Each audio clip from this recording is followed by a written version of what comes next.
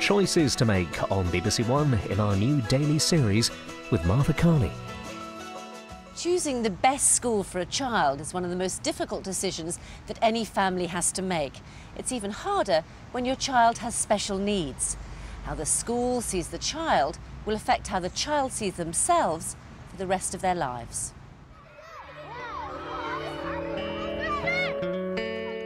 This is Simeon. He goes to a mainstream primary school. He's had these friends since he started here.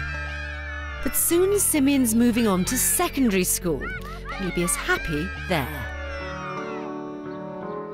I think I'm popular with, because, because I'm in a wheelchair. I think it's because I'm in a wheelchair. And I'm popular. Nearly the whole school's my friend. This is Sophie. She goes to a mainstream comprehensive. What I'd like you to do She too is facing a choice. What kind of sixth form education should she have?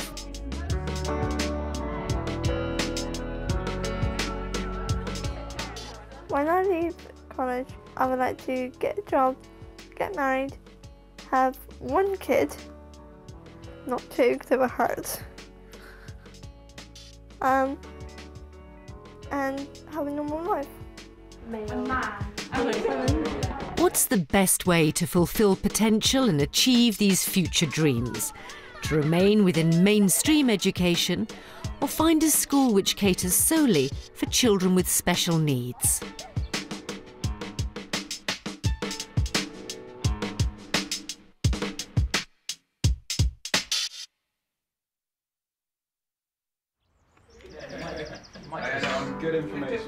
Information. Can I give you want to do something? There you go. Don't you remember? Simeon's the youngest of five children. He's nine years old. Well, we knew before he was born that he was going to have spina bifida, so we were prepared for that. So, in many ways, that was a help, although we didn't know to what extent. Um, and the first two months, I was in hospital with him um, because uh, he needed oxygen, didn't he? And so Mm, that had was operations, quite stretching for us with four other children at home. Take one. Now, we and we keep my sister skin full.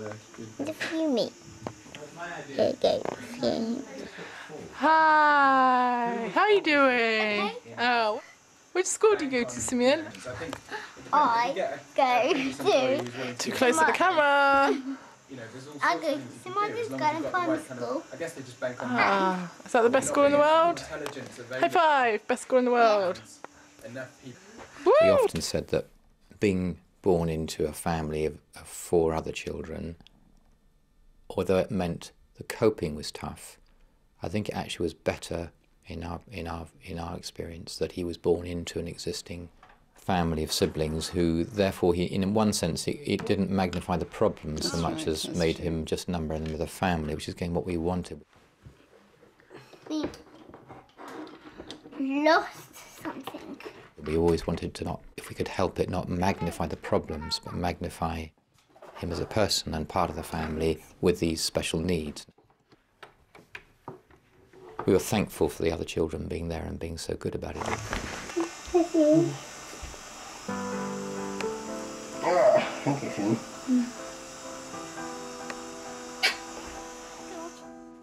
Sophie's almost 16, an only child, and lives at home with her mum and dad.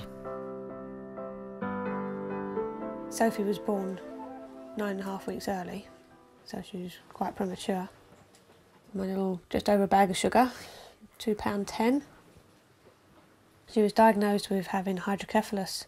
Consequently, she had some brain damage, which resulted in her having cerebral palsy, which was diagnosed when she was ten months old. They always said that she wouldn't walk. I never quite believed it. I'm always one that says never say never, but she does a lot more than I think people expected her to. Sophie, Simeon, and their parents are making decisions about the best way to continue their schooling. There are choices state or independent, mainstream or special. Like all parents, they have the well being of their child at heart as they try to choose the next school. We don't actually want to make him different and No. special and needing the, the thought he can just fit in normally. I love him to be in the, in the mainstream of everything, feeling life is about an adventure rather than life is just surviving. Couple of times she tried to play the disability card, didn't she? You know, she would say, oh, I can't do that, I'm in a wheelchair. I said, no, no, no, no, you can't go down that route. You, you don't want anybody feeling sorry for you. You don't go through life expecting pity. You know, you just do what you can do, do it to the best of your ability, and that's fine.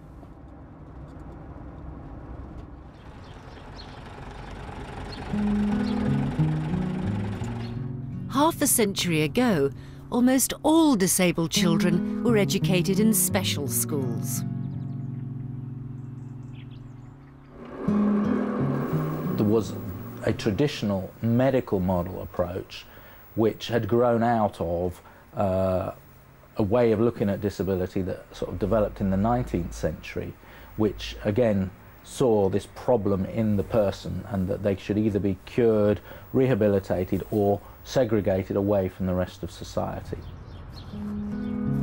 I had polio in, in 1949 and affected my left chest, back, right arm. But in the early 1950s, the approach was to overcome your impairment. So we were all turned into little super crips who could do almost anything. Except that we weren't the same as everybody else. But whenever I saw myself in a shop window and thought, who's that little boy with a lopsided gait, I didn't identify with it at all because we've been made to do so many things. So, for instance, I was swimming before I was walking and all sorts of things. So it came as quite a shock to me when the local primary school said they refused to have me because I was a fire risk. Uh, and I had to go to a school for physically handicapped children. And when I got there, it reminded me of the hospital I'd spent a year in, and it smelt like the hospital, and all the children were just sitting around doing nothing. Nowadays, many more are included in mainstream education. This process was spurred on in the late 70s by a government committee chaired by the philosopher Mary Warnock. We wanted to get away from the sort of medical model of um, thinking about children's needs. That is, thinking what's wrong with them and putting them into different categories of things that were wrong with them. And in order to get away from that, we invented this catch all special educational needs and said, more or less, you know, that most, many children with special educational needs were going to do all right in mainstream schools.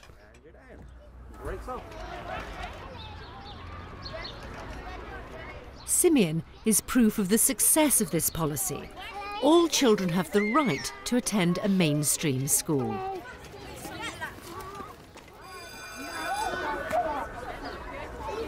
Simeon's parents, Paul and Sue, chose a local school for him.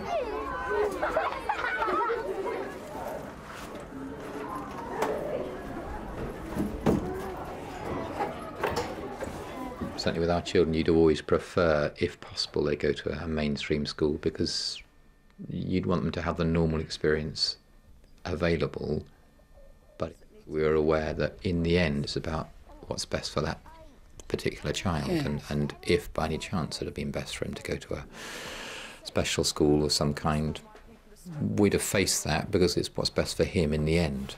But I think for me, it was just a relief. I thought, hey, this is going to work very well. And the only little thing for my mind was, well, can a wheelchair, again, no experience, can a, a young person in a wheelchair cope at school? Right, what we're going to do today is we're going to work on some athletics. We're going to do lots of different things, such as twinkle toes today. So in order to do twinkle toes, we're going to try and go inside all the gaps without touching the bars. Don't step on the slats, and you've got to keep your wheels on the track without sliding off. Look at the skill. I think he's secure with the friends. He's secure that they understand his needs and difficulties. He's aware that um, they can sometimes get fed up with him. He knows the children that might not be so pleasant to him, so he avoids them. He's very good at finding a little circle of friends who are supportive.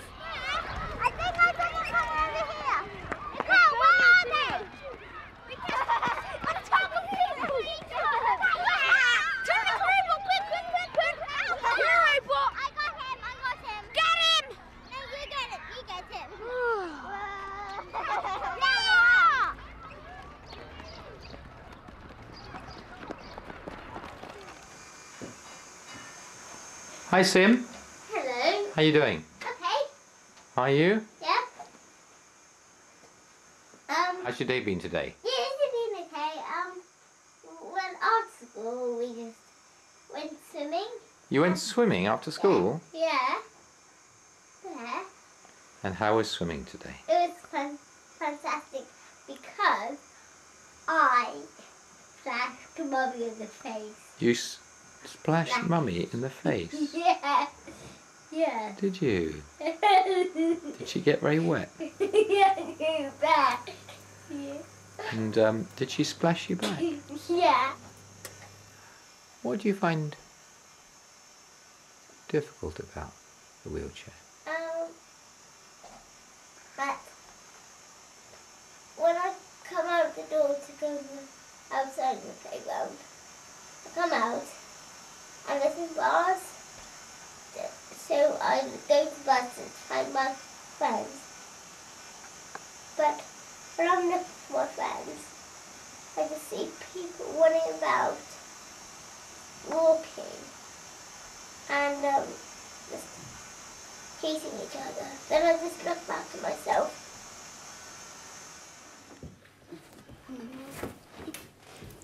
They're huge.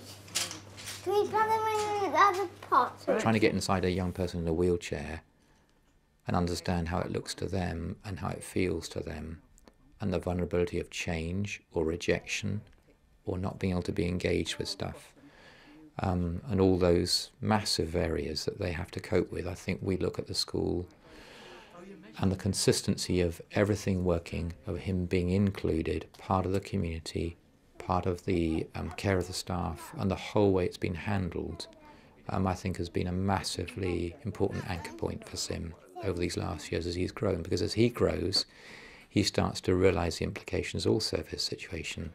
So I did do something else. Do you know what she's written? Yeah. Yeah.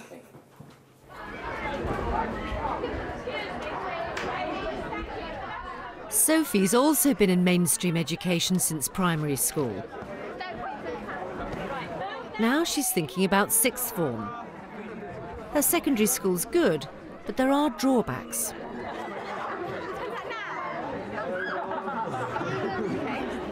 It's mayhem, but it's very good because all, all the kids are very nice to me. It's a bit difficult for me to um, uh, access different lessons because some of the lessons are up, upstairs, but the, but the, the upstairs that I go is where the lift is. But any other area to go upstairs, I can't go. So I um, a bit left out because I've seen everyone walking and I'm in a wheelchair, not doing anything, but just driving around and running over people.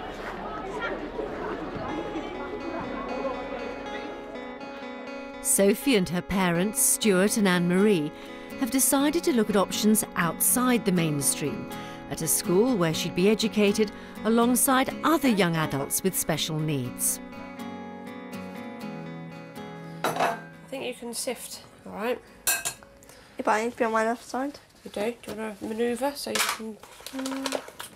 When Sophie first went to mainstream school, it was it was fabulous for her. She um, she and, and for other kids really that are not special needs. You know, they she was obviously the child in the wheelchair to begin with, but after a while she's just Sophie, and people took her for what she was. Put it. That's it. Bang it against the side. That's it. I was on the edge. I was on the edge. Yeah, you're right, way on there. You got on great, didn't you? But I think now girls at 15 and 16, they're going out and more out at night and weekends, they're jumping on buses and going into town. And on Monday, of course, they come back to school and they're all talking about what they've done over the weekends. and Sophie's not done any of that. Because I also had to have mum tagging along. It's not quite the thing you want, is it? When they um have plans, like going to a sleepover or going shopping, I can't do that if my if my mum is there because Not the same, is it? sometimes well it's like if a if a kid if a kid at the age of 15 like me had his had his or she's or she's Hers. or hers um mum with her or him her friends or his friends might laugh at them and that's that's It's not good for your street cred, is it? Hmm. No. She's the same as any other kid with school.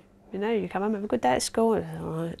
You know, like- Unless it's a bad day, then you know. and then if she's had a bad day because of whatever reason, something that she hasn't been able to access properly, or if she feels like she's been a bit left out or whatever, she'll say no, she's had a bad day. But all kids have that. I mean, that's just neither here or there. But I did feel just recently, I was talking to her, because it was winter, we've had quite a cold winter, I was asking her what she'd done in, in a break or lunch hour, if not getting out. And she belongs to a lunch club. And um, I said, so what do all your mates do? I said, they still going out then, you know, in this freezing cold weather, like as kids do. And she said, she said, yeah, she said, she said they, they don't really sort of mix with me anymore. They, they, I just hang around on my own. And I had this mental picture of like this child looking lost and without anybody, and it, it broke my heart. That did. Yeah. and that was and I really did think then that is definitely it. You know it's definitely time for Sophie to move on.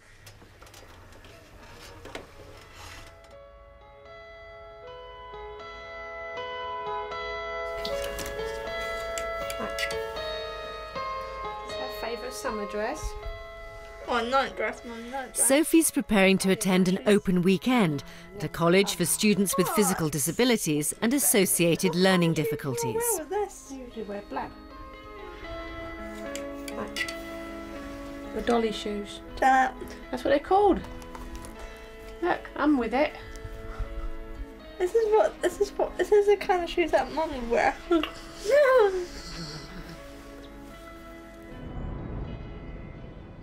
National Star College is in Gloucestershire, more than 100 miles from Sophie's home. There are 150 students. Courses range from the vocational to learning skills for independent living to academic subjects up to A level. Life at the college is designed to increase confidence and skills that will hopefully continue beyond the classroom into adulthood. Another thing a volunteer centre will help is that they'll acknowledge that. This is about um, signing your first tenancy and what's expected of you and what the landlord expects of you.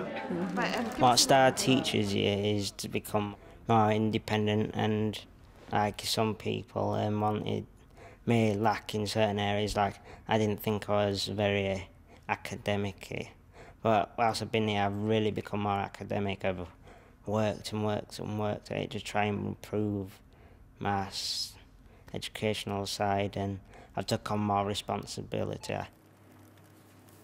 We've all got one thing in common and that's we're disabled. But we- we all know we're just like anyone else but we're different, um, uh, just different uh, abilities. But um, people sometimes don't see beyond the chairs, which is an obstacle in life.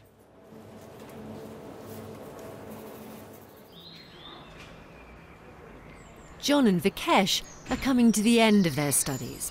They recently moved off campus into accommodation managed by the college.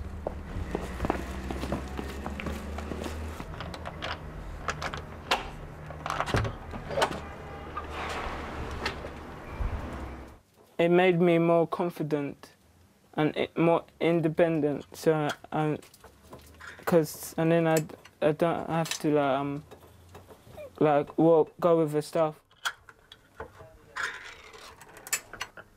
It makes me darling. Oh, yes, I'm, I'm not stupid. this would be a good experience just before we- I leave, because I haven't really like, worked on a cooker before. Uh, if you know how to turn Yeah. the thing on and then uh, yeah. take time because they're breaking Yeah. and everything. It's this one.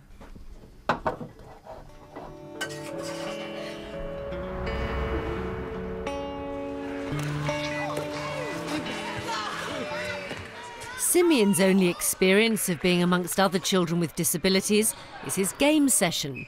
It's held once a week at a local sports club.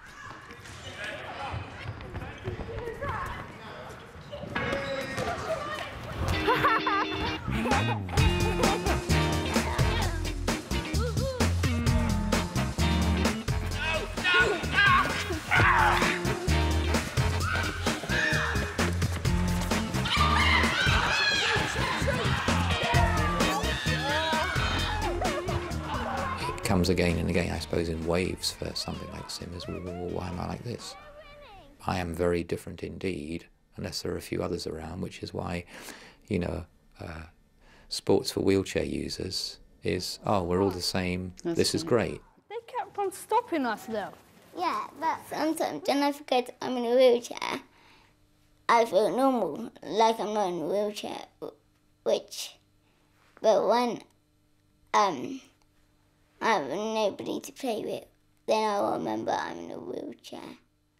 But when I play about it, there was one time where we were playing with it, I was playing with somebody, and they forgot I was in a wheelchair, so they were going really fast, and I said, stop, stop!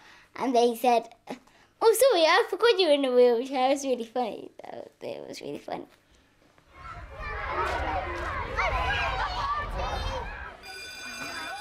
Simeon has 18 months left before he starts secondary school. But he and his family need to make their decisions soon. Everybody turn back to where had Sasha's father been going? Anybody remember? Hunting. Put the ruler away. Did you go on hunting to kill the I would be really happy if there was like um pe- children in wheelchairs there because um it would help make me more happy there and like if it was like um um children who aren't in wheelchairs then um they would just um like they might not understand why I'm in a wheelchair. It seems to me inclusion is a great goal, but I'm also aware that both the demands on a teacher with a class of 30 plus and the needs of that young person don't always make that ideal of inclusion possible. You have to look at the whole picture, and as a parent, you always fight for your child, but I'm also aware teachers do an amazing job, and I, hmm. I feel for them if they're pushed to include what is actually very difficult for them within the, the whole of the rest they do. We feel he's still completely committed to joining in fully in all curriculum areas, including PE. Like all pupils, Simeon's progress is carefully monitored by his school. Today is his official review and will help decide where he'll go next. Spelling is good too now. But it's, amazing how much he wants to join in with everything. Staying with his friends has always seemed the best idea. But will the teenage years call for a different set of priorities?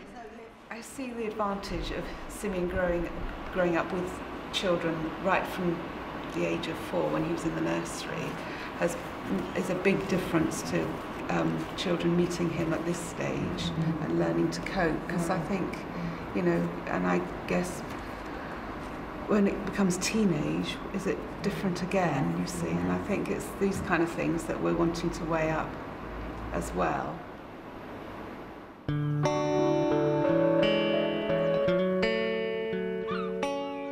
There are two days to go before Sophie attends the Star College Open Weekend.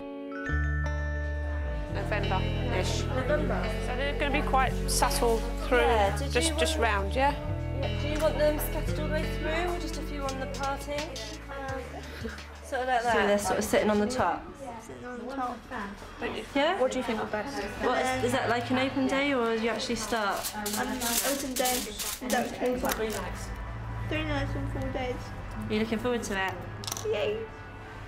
This is really a good time for her to go now because she'll be with other kids that you know the same as she is and um, in the same situation and they've all got they've got the facilities in Star to sort of put them on a bus. They load them all on a special bus and take them into Cheltenham and they can go to discos and when they're 18 they'll be going to pubs and restaurants and going to cinema and she'll be doing all the things that every other teenager's doing. It's good, isn't it?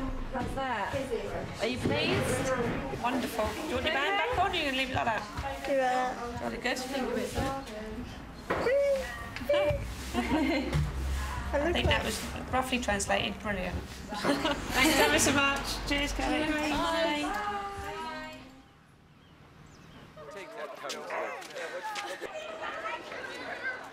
Simeon's come to look at Writhlington School, one of the mainstream secondary schools that are available to him. That's of easy, isn't it? We're going to take you to the of the school. Um, This is the house block. And so we've got the individual learning centre. We don't call it special needs, we don't No. call it learning support because we try to get away from Yes. any stigma being attached to the special needs department. So we deliberately call it the individual learning centre, which I is like this that. area we're going into. Yes. And it's used by mainstream classes and um, able pupils groups as Yeah, well. so it just gives the whole feel that it's for everybody. Pleased with what you did for a first attempt. That boy is one of my friends.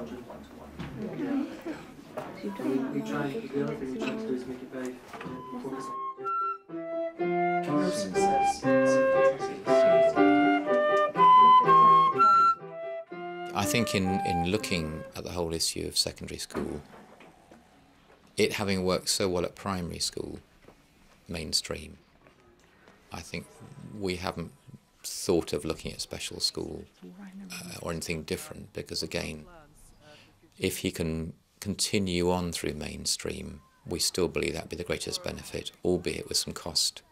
Uh, maybe in him having to fit with a whole bunch of people who he's different to. Edie, um, that's in the wheelchair. And there's Oh, yeah. a basketball, like on a tour. Have you? Yeah.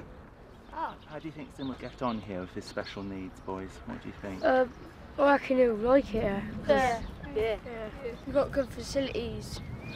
You know, he'll get on well. Yeah. I think it's just very helpful to see more than one place because you only by doing that you get to test well what might work for him. My mind all the time is just thinking around how would he feel here, how would it work here.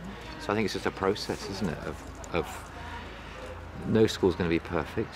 And it's we know such that. an individual choice as It- well. in, isn't the, in the end, it has to be, you know, you and I in the end just have to weigh where we're most comfortable, even if it's between two very good schools.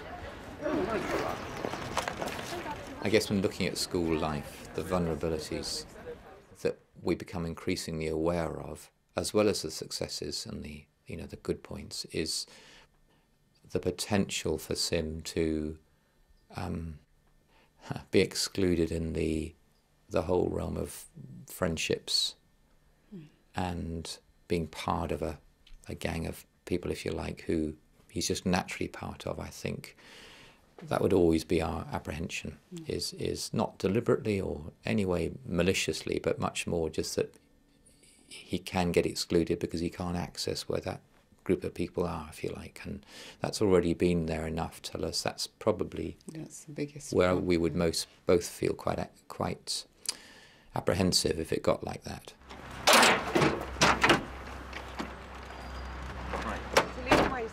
Simeon's second option is Ralph Allen's school, one that a majority of his friends will attend, and he knows other children here with disabilities.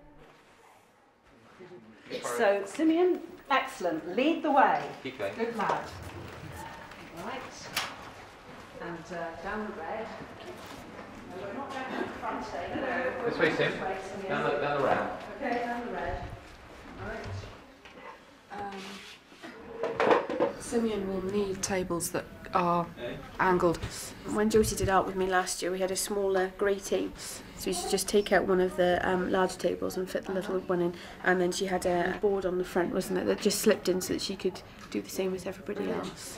This is Jan Smith. Nice to see you. Hi, Jan. Hello. And uh, not only does she work with Josie, Simeon, Simeon. Simeon, Simeon. Simeon, but Jan is our expert on physical activities and on swimming. We only take very special ones like you. Yes, because not everybody goes swimming, but I take two children swimming, and I take one little girl who's in year 10, and she's in a wheelchair like you, and we go every Monday afternoon, and she does 20 lengths with me. she keeps nice and fit. And I take another little boy who's in year 8, and we go down on a Wednesday, and I'm teaching him to swim.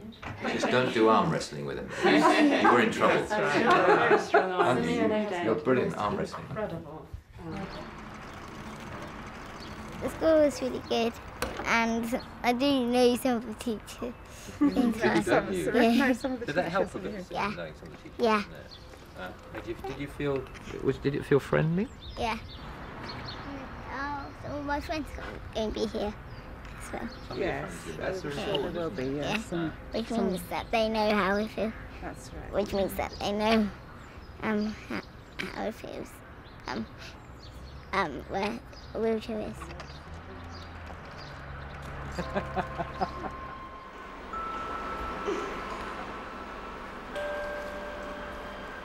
Any change from juniors to seniors is a big one, obviously, because of all the adjustments of leaving a closer community and going to a large secondary school. And I think we're just aware all the time that, that for Sim it's very vulnerable. Hmm. You know that he, he is a very vulnerable youngster. And I've taught in the past as well, so I know secondary schools, and you know the thought of him just, if you like, naturally being thrown into that whole mass of adolescence, for us, I think, is quite a tender thought. So I think exploring it kind of helps you start to find some of your fears are allayed, and you know some of you, if you like, it inspires you to think, oh no, it could work.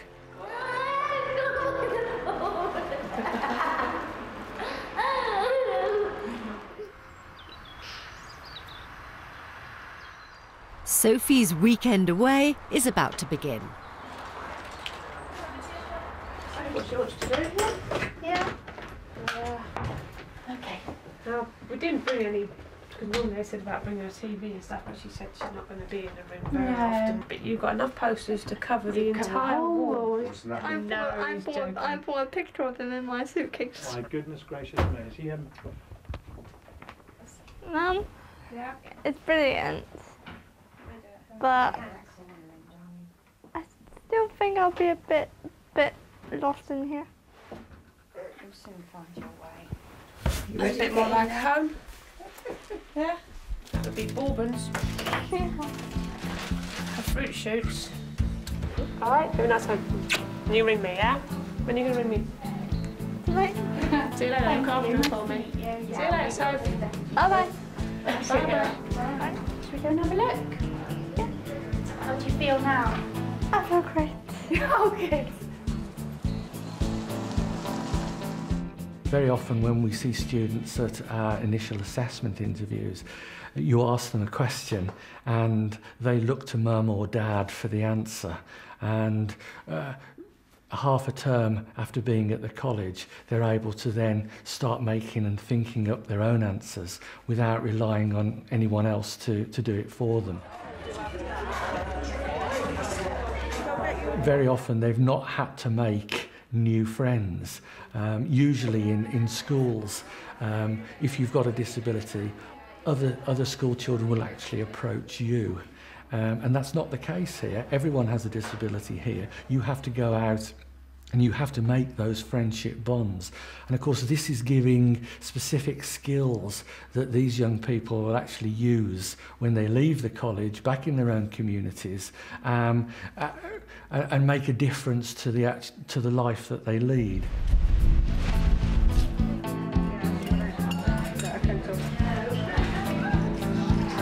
I've got, I've got all my, I've got, well, some of my friends I've met. Um, they, they do fantastic stuff like sports and activities. So sport and health all morning in the gym, and then afternoon you've got performing and creative arts. Think about your contemporary walk through it about If they're happy, you can see it on their face. So what we decided on is the question. Feet. It's relaxing and you don't, you don't have to do work all the time. So all you gotta do is like do a bit of work but have fun as well.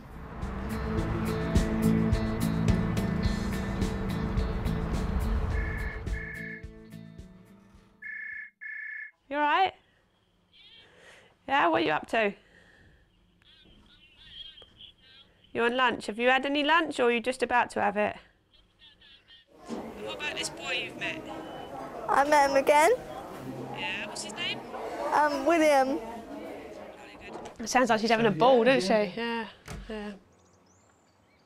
You- Obviously, your biggest fe- fear as a parent is, you know, are they going to look after your child as well as you've been doing it, you know? And then it dawned on me one day, didn't it? I thought, oh my God, so they look after her better. you Not possible, not possible. Try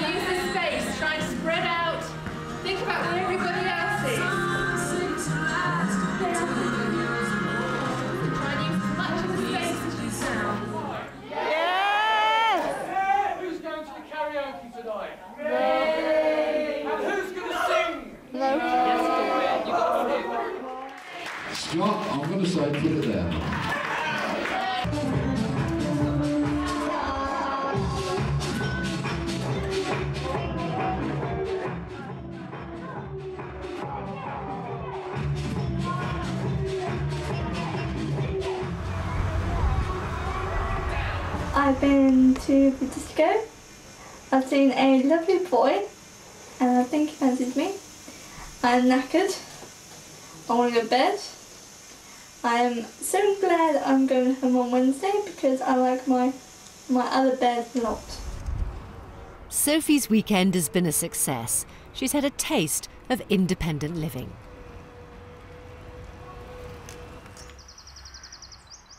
Despite Simeon's young age, the same issues of independence and future schooling are at the forefront of his parents' minds. They're hopeful that the mainstream will be best for Simeon.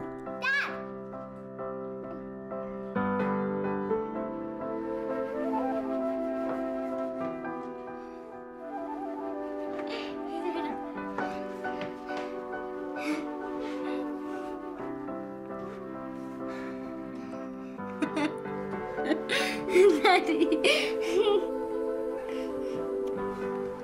Think, you know, a person like Simeon, in the end, has to live in the real world where there are, um, you know, you come up against all the difficulties that somebody in a wheelchair has to face. And I think uh, that's been one of the strong um, points about going to mainstream because that you are faced up with uh, those kind of challenges.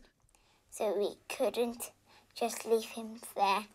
I think mainstream school has prepared him for adult Mm. life in that way because he could have lived a much more sheltered, um, more protected at uh, a specialist school. Saucer. Sometimes I think, well, what is he going to do at 18? Hmm. I kind of go there in my mind. I think, so what will it be like? And if I, I can either have a slightly gloomy look and think, oh, where will he end up? Who's going to accept him as he is? And then you get that, that struggle. Or I can look and think, well, hopefully, if we keep pressing forward with him, all sorts of opportunities will be there to, to do a job that will be very satisfying for him. I'm, I, but I don't really know enough. But I think mainstream education right now is equipping him with the hope that he'll have a, a good job and a normal life and social circuit he'll be in. I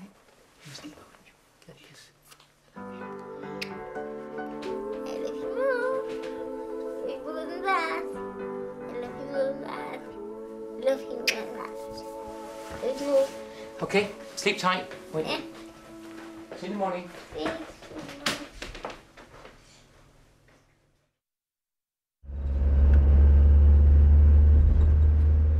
Simeon and Sophie have finally made their decisions.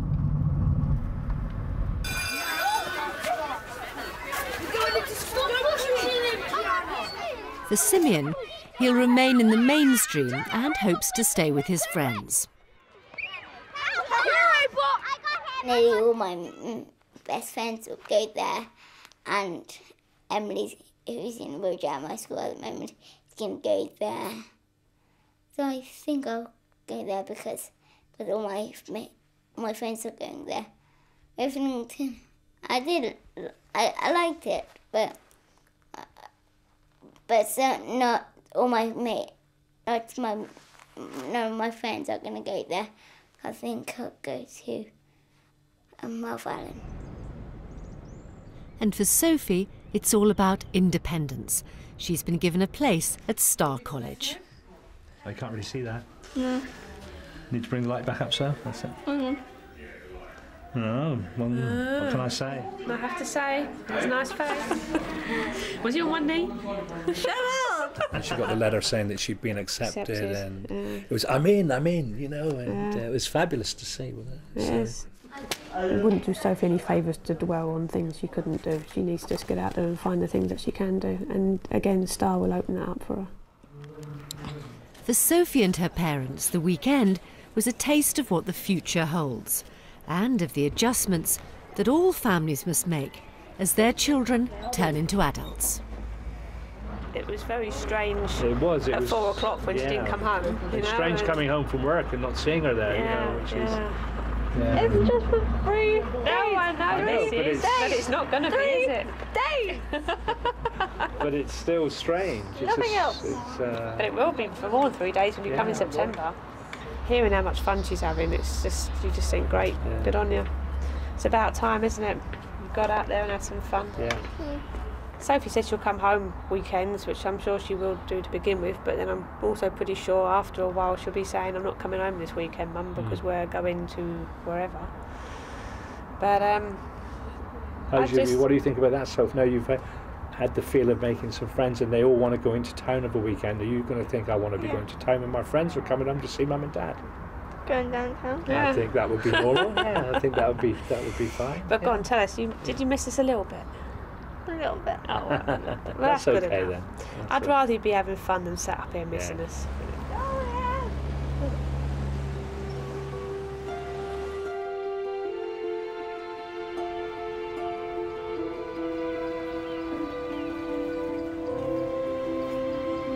I was up a hill this afternoon with a beautiful view at the back here, and, I, and in my mind I was actually thinking, well, why can't we get Sim up here? I don't know how, but why can't we get him to enjoy this view? That sense of adventure, well, can he climb a mountain? Well, it doesn't seem like he can, but is there any way? You know, and, and unless you push a bit, sometimes you you don't get to find that out. And, and the same with the schools, I think. Yes, that's right.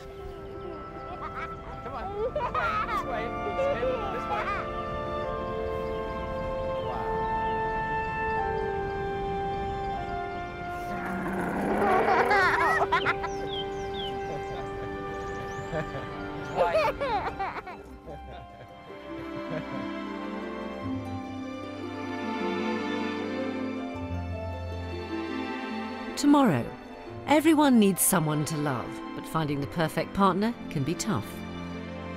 But do you not think it's important for it to be like a nice girl, someone who can get on with well? Someone who can make you laugh? No, she's got on the face of an old dog. There's more to life than that, John. There's more to life than that. If you've been affected by any of the issues in today's programme and would like to talk to someone in confidence, call the BBC Action Line on 08000 566 065.